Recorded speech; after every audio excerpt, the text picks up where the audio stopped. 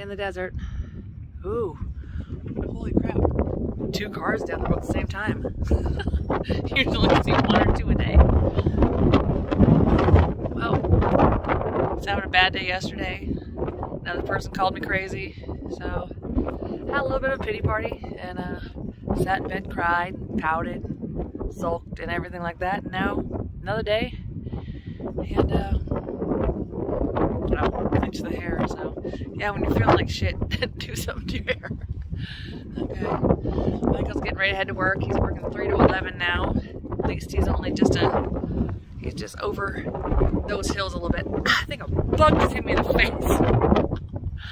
face. so, I'm out here. I'm gonna have a good day today. Gonna sit out in the chairs a little bit. And uh, get some sunshine on my face. Another day. I have no idea what we're doing. I have no idea how to get me help. Michael's just earning money and we're trying to survive. That's it. Have a good day, y'all. It is what you make it.